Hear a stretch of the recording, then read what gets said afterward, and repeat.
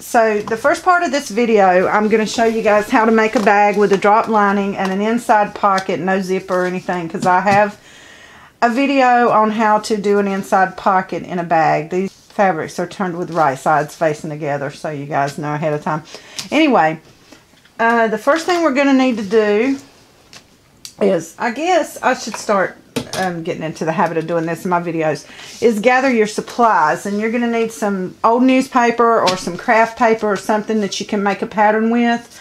Or if you only plan on making one of these bags, you could probably do it on the fabric. But if you mess up, then, you know, I have made my pattern 14 long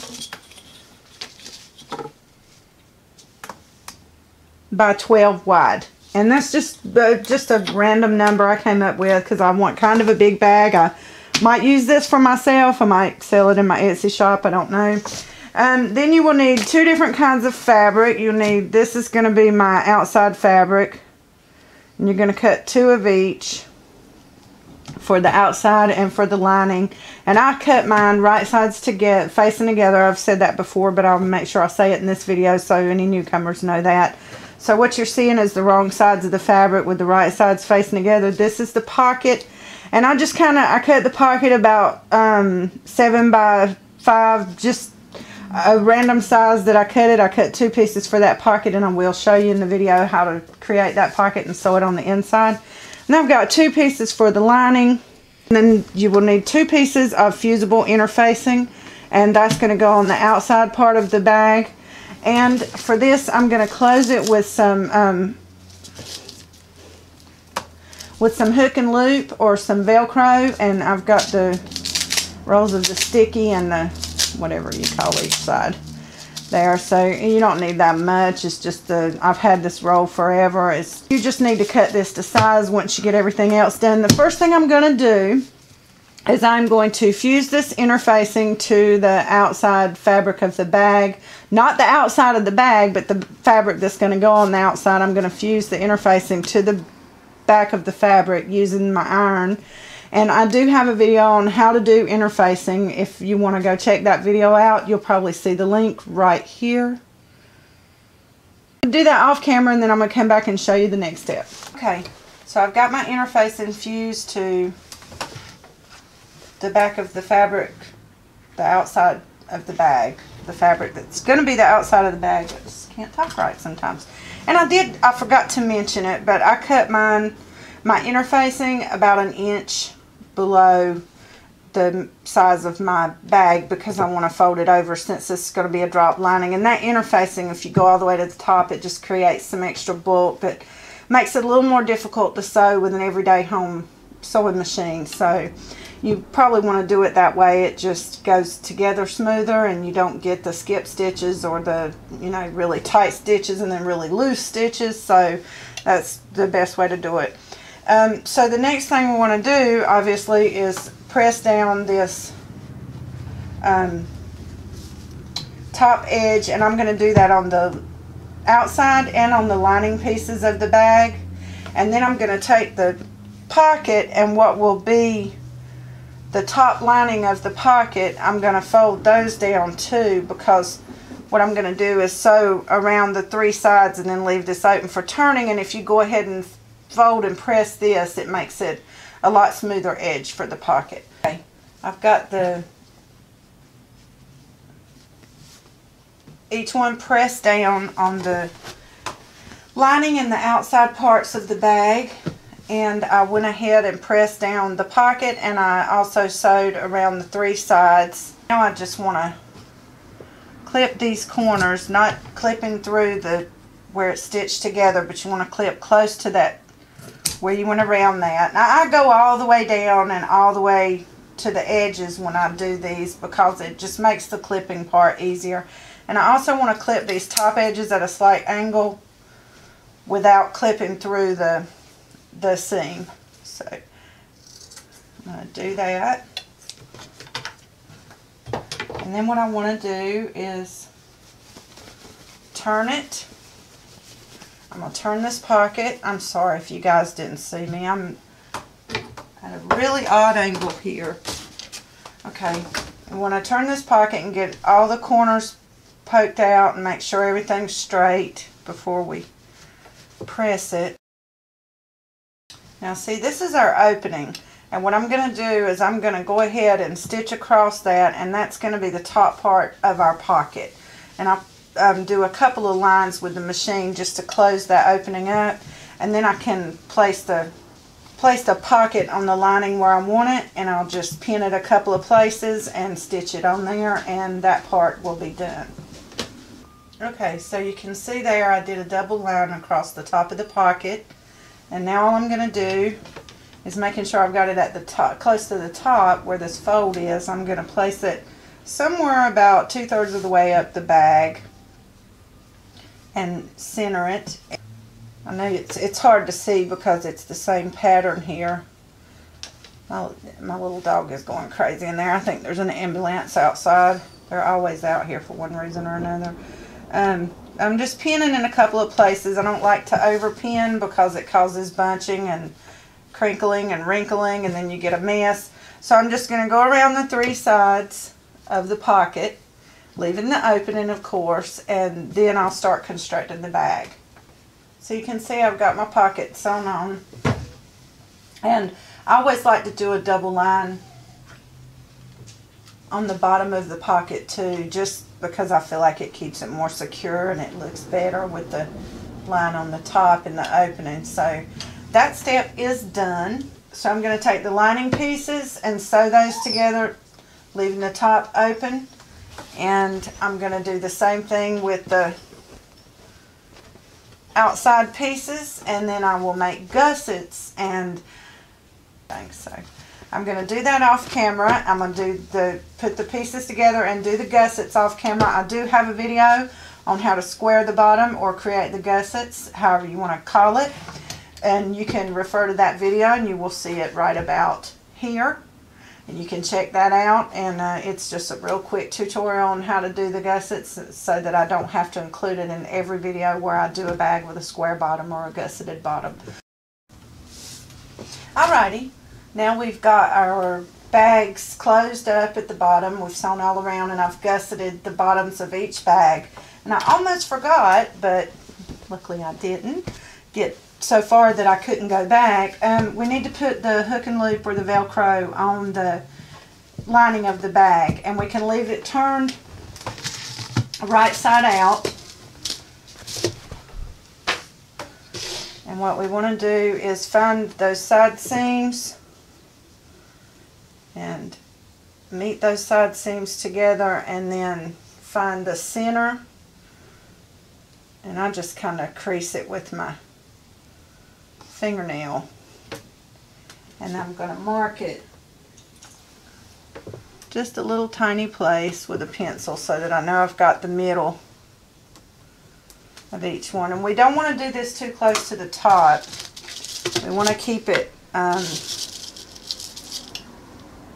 out of the way when we drop the lining in we're going to have to sew it onto the outside of the bag. So I'm just going to cut I don't know about three and a half inches. I don't want to close the whole bag with it either. I just want it to close the bag up really good.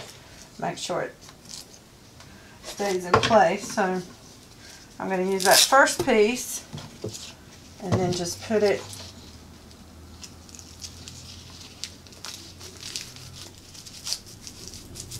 right there on the second piece and use it to cut it. Now what I'm going to do is just kind of center the first one and I want to put it, you don't want to go too far down. You want it to close the bag and you don't want it to have like a, you know, gap when it opens. But you want to put it about, about an inch below the top edge and just kind of try to center it. If it helps you you can actually fold the hook and loop over and mark the center of it so you can match it up with the center mark that you made there. So I'm going to do that. And then I can just kind of see it on the bottom. Just make sure you don't mark it on the top. I put my pencil mark a little too far up and it's going to show. So if you don't want it to show or you want to be able to just wipe it off, you can use a, like a fabric marker or something or fabric chalk. This may erase. Little bit. Okay, so I've got that marked, and what I'm going to do is I'm I don't pin these because it makes an awful mess in my experience. So what I like to do is I start on one of the sides and I backstitch um, really well to make sure that it stays, and then I just go as close to the edge as I can. It gets a little tricky with the plastic part. This kind of fabric part is is not so hard to do, but that's you know you just have to be careful with it. Use a little bit of longer stitch I use a medium speed 3.0 stitch length and I just take my time and try to make it look as neat as possible. So I'm going to do that and I'm going to match up the, the back one with that one and I'm going to sew both pieces of Velcro on there and then we'll be ready to make the straps and attach those. Okay. So we've got our Velcro on each side of the inside of the bag and if you're a little confused by that, this is how the lining is going to go inside. So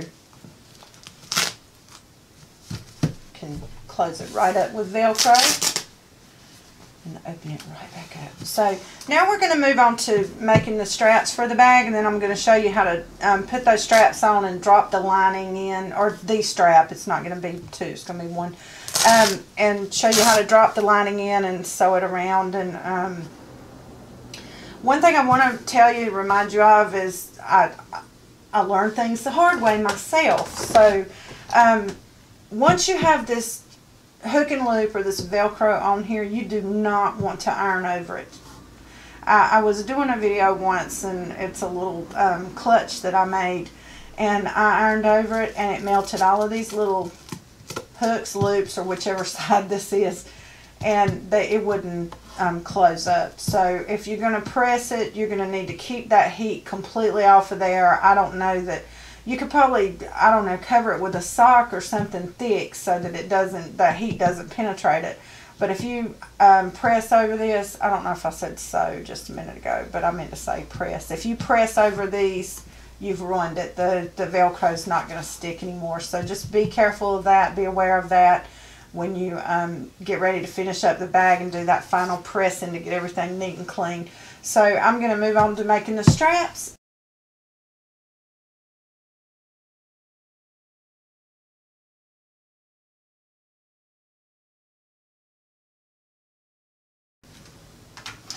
Okay, y'all, it's Renee here, and um, I'm gonna, we're moving on to the, um, making the adjustable strap, and I've got the outside of the bag and the lining right here, and um, I'm gonna use the lining fabric, some of this fabric like the lining to make the strap. I just thought it would kind of be neat to give it a little different, you know, a little contrast from the outside of the bag. So I'm going to set this aside and I'm going to cut my fabric for the strap. So anyway, I had um, didn't have the parts to, I, I keep everything. and I didn't have exactly have a store-bought or brand new like um, belt loop or any of that stuff to make the straps. I had this um, from a pair of pants that I bought that had a little belt with them and I kept it a long time ago. I just snipped the, but I think I used the rest of the belt to make a little pocketbook handle or something. But I saved these little plastic pieces and I'm going to use those. And I'm also going to use this little piece from a, um, I'm not even sure. I don't know. It might have came from a purse or an old belt, but it's not the strongest metal. So, well, it is pretty strong, but it sounds flimsy. So I'm going to cut this,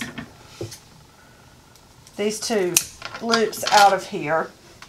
And I think we're only going to need one of them. So what you're going to need for the hardware is like a, maybe a D-ring or something like this. And then you're going to need one that's like a belt loop or whatever you call that, a buckle. So uh, you can get those probably fairly cheaply at Hobby Lobby. So I'm going to put this one aside and save it for something else. And I'm going to put these aside. And the first thing that I want to do, and I'm not using any pattern piece or anything, but I am going to take this fabric and I really don't think that crossways, even for a crossbody, this just cutting one piece of this is not going to be enough to make an adjustable strap that'll be long enough to do anything. So what I'm going to do is, with, I'm not even going to make a pattern piece, but I'm going to take my ruler and I'm going to measure out um, let me just say too, but this piece is slightly more narrow than this one. So I want to make sure that when I create my strap, it fits into this one because it's okay if it's a little too small for the opening, but if it's too big, it's not going to look right and it's probably not going to adjust so smoothly. So anyway, what I'm going to do is cut um, this piece all the way across and it's on the fold. So it's a, probably about 42 inches. And then I'm, I'm going to cut it, uh, I'm going to say five inches thick because I'm going to do a fold over strap and um, the way I'm going to create it, but you'll see. But anyway, I'm going to create two of those pieces and probably what I'm going to end up doing is cutting one of them in half. But I'll show you. I'm just wasting my time explaining and confusing you.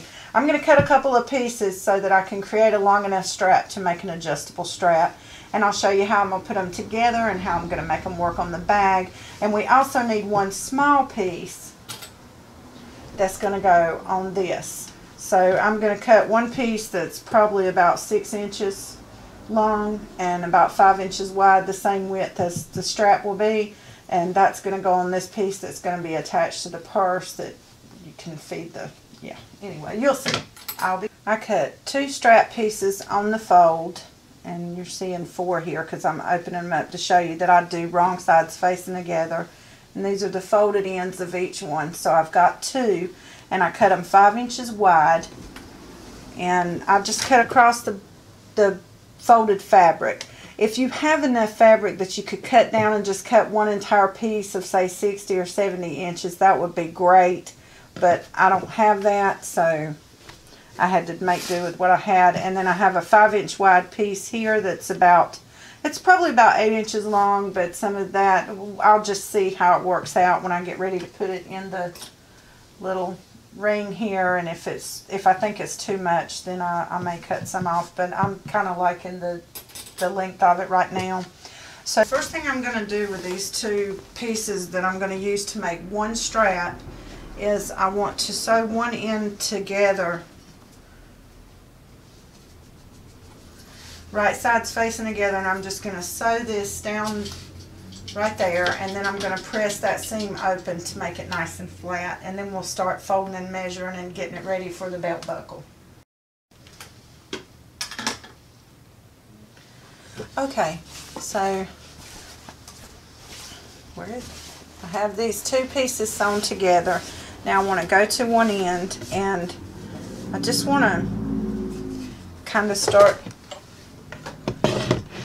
trying to figure out exactly where, how much I need to fold to get this buckle to fit because what I'm going to do is I'm going to fold the sides and then I'm going to fold it over on itself and put it through the buckle. So I kind of, I just do a lot, a lot of guessing. You guys that are regular to my channel know that. But it usually comes out okay. I'm pretty good at eyeballing things. So I'm going to fold this over about an inch and a half because I feel like it's, I probably made it a little too wide, but it's not going to hurt anything. So I could have made it maybe four or even three and a half inches and did the fold over and still had plenty.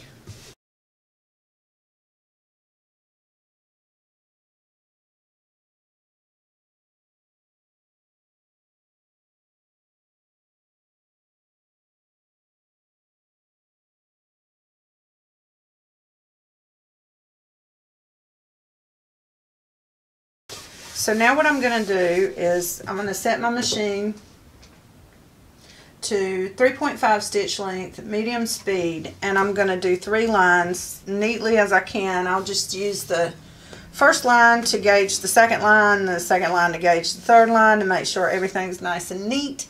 And then we'll start putting the buckle on and I'll show you how to put it on your purse and do all that good stuff. So got the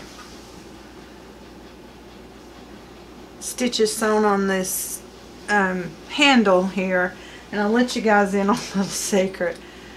My stitches for stuff like this aren't always straight and perfect the way I want them to be. So what I did was I went in and just kind of moved the needle around and made them, you know,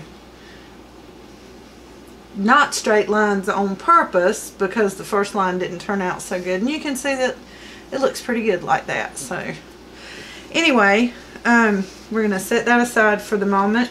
And we may end up um, having to cut a bit of that if the adjustments, um, if it's too long. But we'll just see once we get to that step.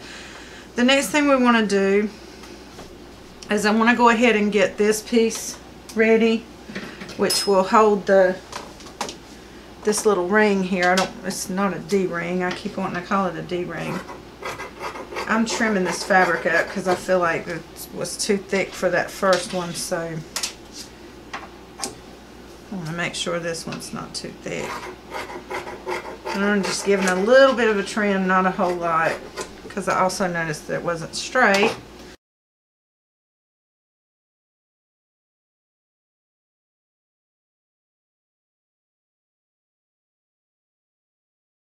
I'm going to take this and um,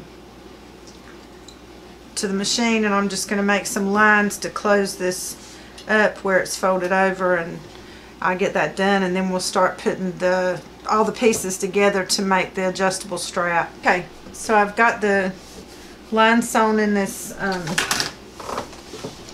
piece that's going to be attached to the bag and I'm going to go ahead and run this piece through. Okay, I've got the end sewn down and now I want to sew close to the top of this. And um, if you have a piece that's flat on the edge like this, I think you can do this. But what I'm going to do is I'm going to rest that presser foot really close to that edge. And I'm going to make sure I'm kind of pulling a little bit and I'm going to do a little tiny back stitch and then I'm going to go all the way across here and the presser foot's not touching this edge because I feel like that might be too close, but it's really, really close. So there we go. That piece looks really nice, really well put together. So now we just need to construct the adjustable strap and then attach it to the purse. Alrighty. So we've got our pieces to our strap and um, from what I've seen other people do with this, you don't really need to fold under this. You can leave that raw edge for this part. Um, it might make it a little less bulky, and if you use some stop fray or something on the end, it should be fine. Uh, the first thing we want to do with our buckle is to run it through the top part. See, mine has a back and a front. Some that you get may not. Um, but this part needs to be the back. I guess that really doesn't matter. It's going to come through either way. Okay, so kind of decide how far down you want to go with that. I'm going to take it about that far. I've folded it over to about two and a half inches. From this to the fold, it's about two and a half inches. And then what I want to do is take it to the machine and just sew a square all around here, being careful not to get this little piece that's in here but I want to sew a square. I don't want to do a line just across. I want to square it so that it stays in place really well and it's nice and snug in there.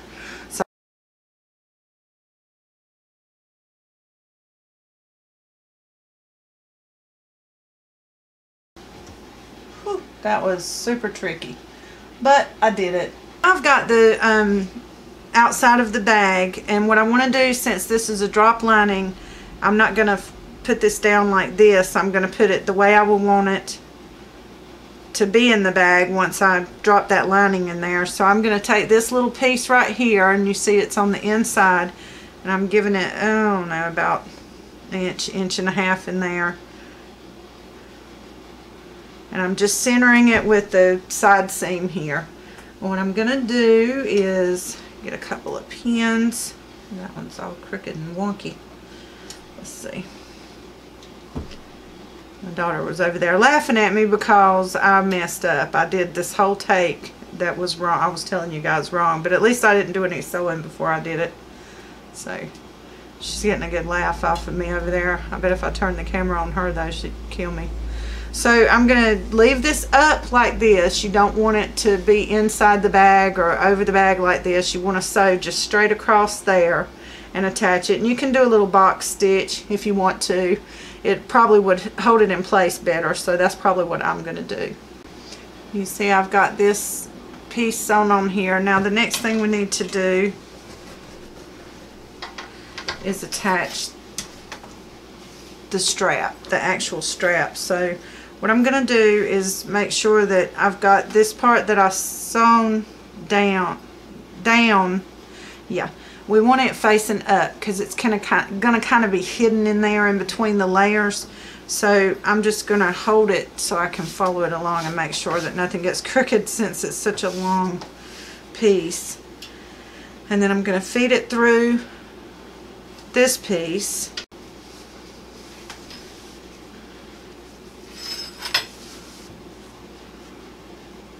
See I've got that end of that buckle there.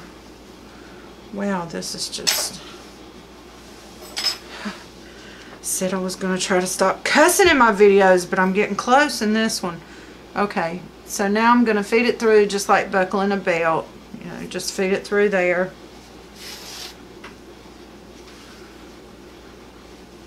And I want to make sure that it's all straight, nothing's crooked. Can you see what I'm doing? And then I'm going to take it to the other side over here.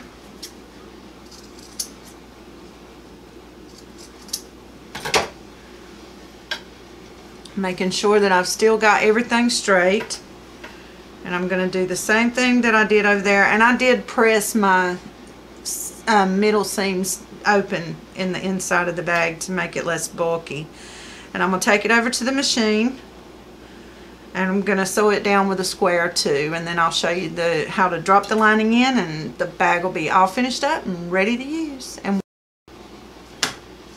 alrighty I've sewn the straps on and you can see this is like I said y'all I'm working with my found materials. I really should have made this a tighter fit because it's going to be really hard to keep it adjusted. But um other than that you know you get the gist of what I'm trying to do here. So that's the buckle end where you can slide it up and down. You see it slides a little too easy. You don't want it to be quite that easy to slide through and really the two of these should be the same size. You see there's such a big width difference in this one and this one.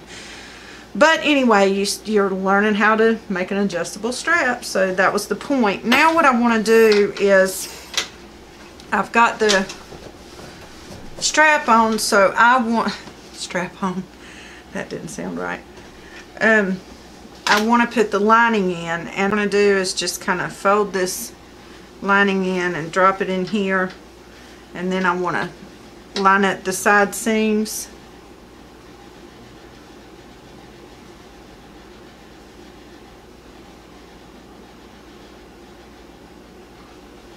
And I'm gonna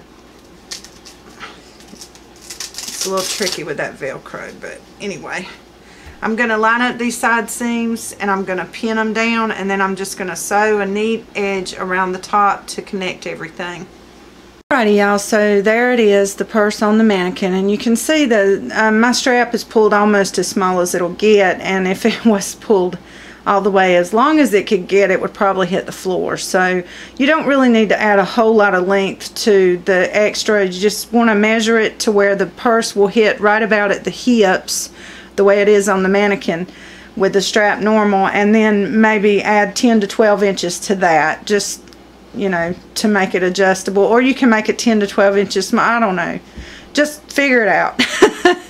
Um, it was a fun project to make. I really like the fabric for that purse and I like the idea. I'm actually gonna go next week and purchase um, some hardware and try and do it with the right hardware the buckle and the D-rings and things and see how it turns out when I do it that way. But it's it's an easy project. It's uh, beginners can do this um, all the way up to experts. So you guys enjoy. Have fun. Peace.